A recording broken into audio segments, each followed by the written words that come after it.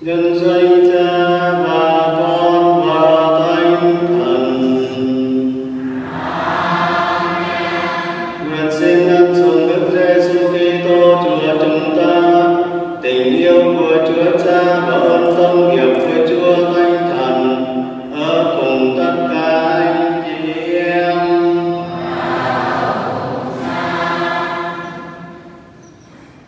Kính thưa cộng đoàn, qua miệng quân sứ Ezekiel, Thiên Chúa tỏ cho thấy người chăm lo săn sóc từng người chúng ta rất ân cần.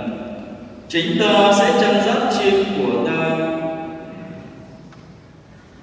Vào ngày 13 tháng 1 năm 2022, Đức Giám mục Giáo phận đã trao sứ vụ cho cha chánh xứ Francisco Xavier người phục vụ giáo xứ thân thường. Giờ đây, con xin kính mời cha đại diện sẽ đọc văn thư bổ nhiệm của Đức Giám mục Giáo phận. Con xin kính mời trên.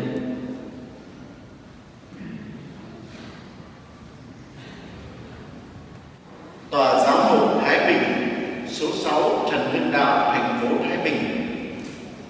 Văn thư bổ nhiệm, linh mục, ngày 5 tháng 1 Tòa giám mục Thái Bình, số 22 Văn thư bổ nhiệm chiếu theo giáo luật điều 157 và chỉ nam giáo phận vì nhu cầu mục vụ và lợi ích thiêng liêng của cộng đoàn dân chúa giáo phận Thái Bình.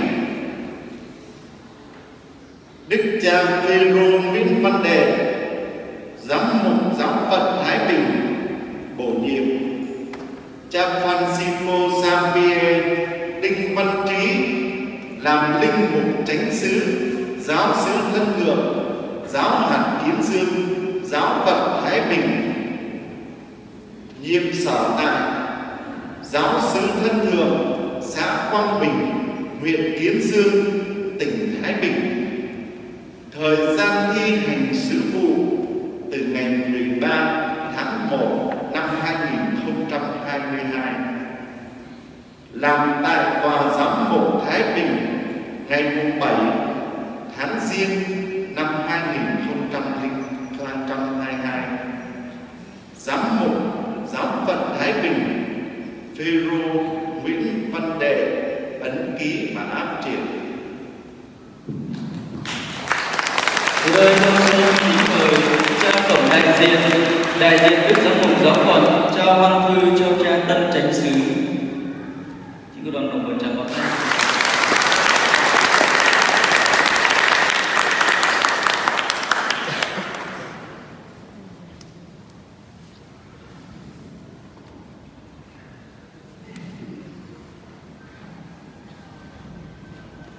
Trước khi thi hành một sứ vụ quan trọng, cha chánh xứ cần phải tuyên xưng lại đức tin.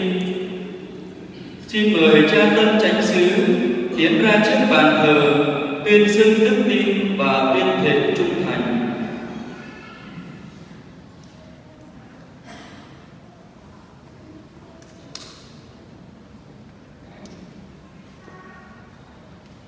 Tôi là linh mục Francisco Xavier tình Văn Trí với đức tin vững vàng. Tôi tin và tuyên xưng mọi điều và từng điều ghi trong kinh tin kính sau đây. Tôi tin kính một Thiên Chúa là Cha toàn năng, đấng tạo thành trời đất, muôn vật hữu hình và vô hình. Tôi tin kính một Chúa Giêsu Kitô, con một Thiên Chúa, sinh bởi Đức Chúa Cha từ trước muôn đời. Người là Thiên Chúa bởi Thiên Chúa, ánh sáng bởi ánh sáng, Thiên Chúa thật bởi Thiên Chúa thật, được sinh ra và không phải được tạo thành, đồng bản thể với Đức Chúa Cha, nhờ người mà quân vật được tạo thành, vì loài người chúng ta và để cứu độ chúng ta, người đã từ trời xuống thế. Bởi phép Đức Chúa Thánh Thần, người đã nhập thể trong lòng trinh nữ Maria và đã làm người. Người chịu đóng đinh vào thật giả vì chúng ta, thời quan phong Sio Pilato, người chịu khổ hình và mai táng. Ngày thứ ba người sống lại như lời thánh kinh. Người lên trời người lên hữu đức chúa cha và người sẽ lại đến trong vinh quang để phán xét kẻ sống và kẻ chết nước người sẽ không bao giờ cùng tôi tin kính đức chúa thánh thần là thiên chúa và là đấng ban sự sống. Người bởi đức chúa cha và đức chúa con mà ra.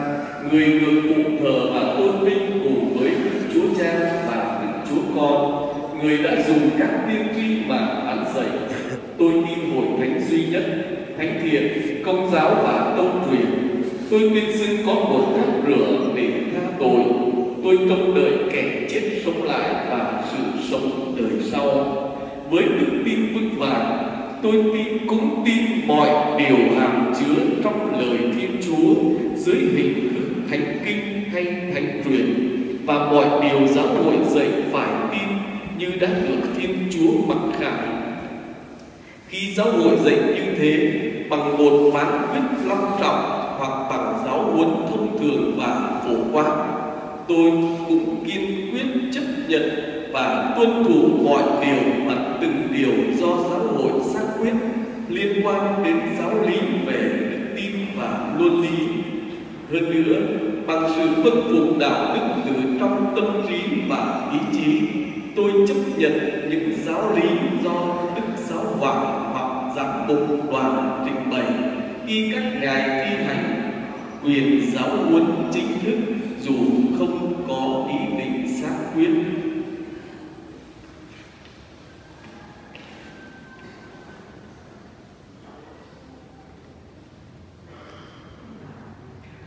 tôi linh mục Francisco Xavier Đinh Văn Trí, khi lãnh nhận nhiệm vụ, hứa sẽ bảo vệ sự nghiệp thông với giáo hội, công giáo bằng lời nói và việc làm của tôi.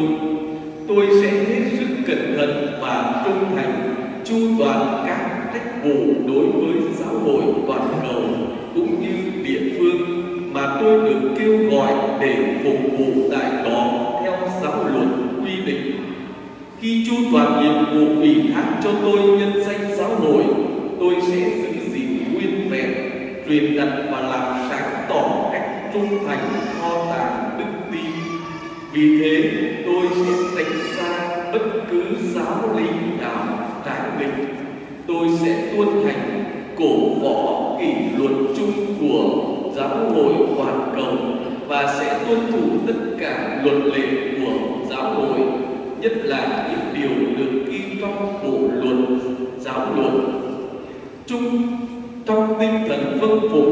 khi tôi hiểu tôi sẽ tuân theo những điều các chủ chăn khẳng định công bố.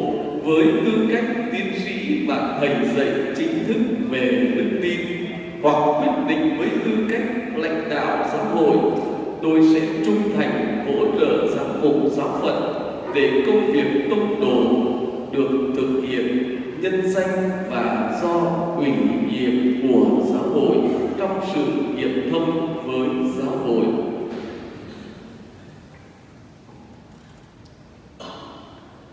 Nguyện xin Thiên Chúa và sách phúc âm tôi đặt tay đây giúp sức cho tôi. Giờ đây, cha tổng đại diện sẽ dẫn cha tránh tân tránh xứ đến ghế chủ tòa, đến giếm rửa tội, tòa giải tội, tòa giảng và mở cửa nhà táng. Trước hết là nghi thức trao ghế chủ sự.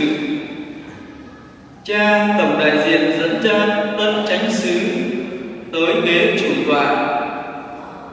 Ghế chủ tọa nói lên nhiệm vụ đứng đầu cộng đoàn phục vụ và điều khiển việc cầu nguyện của dân thánh dưới sự hướng dẫn của cha, xin cho cộng đoàn dân chúa được luôn bình an và hợp nhất theo thánh ý chúa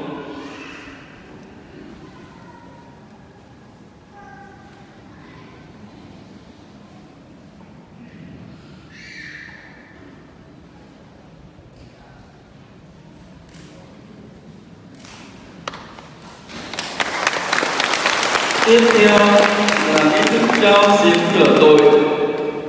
Cha chủ sự dẫn cha tân chánh xứ tới giếng rửa tội. Giếng rửa tội là nơi giáo hội đón nhận và sinh thêm nhiều con cái. Xin cha quan tâm đến các gia đình và việc huấn giáo để các tín hữu ngày càng lớn mạnh trong đức tin, được đáp nhập vào hội thánh nhờ sức mạnh của Chúa Thánh Thần mà làm chứng cho Chúa Kitô trong thế giới hôm nay. Tiếp theo, trao tòa giải tội. Cha chủ sự đưa cha tân chánh xứ tới tòa giải tội.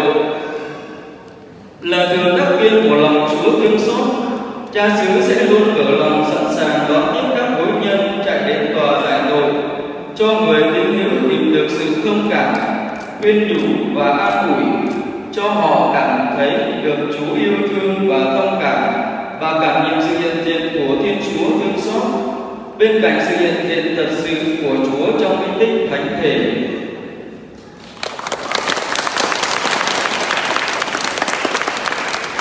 Tiếp theo, cha chủ sự dẫn cha tân tránh xứ đến giảng đài, nơi cử hành bàn tiệc lời Chúa ngụ ý nhắc nhớ cha tân tránh xứ về bổn phận, lo giảng lời Chúa, giúp giáo dân hiểu và sống lời Chúa vì sống theo ý Chúa cũng chính là lương thực hàng ngày của người tín hữu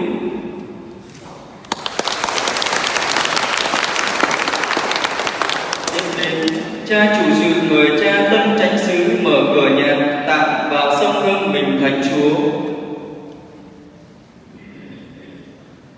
Linh mục là con người cầu nguyện và bí tích thánh thể là nguồn mạch và chốt đỉnh đời sống và sứ vụ của hội thánh.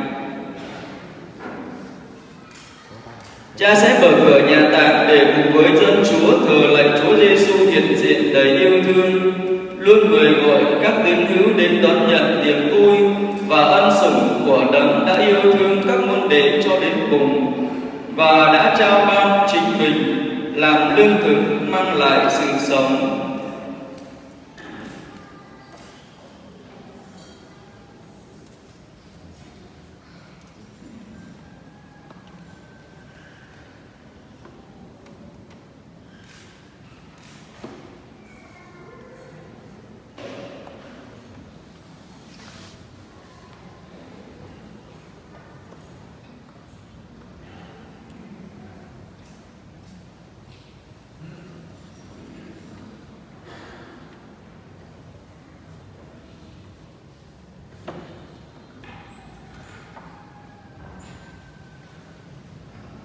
Cuối cùng là nghi thức trao dây chuông.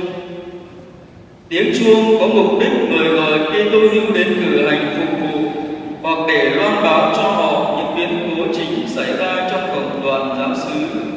Vì thế,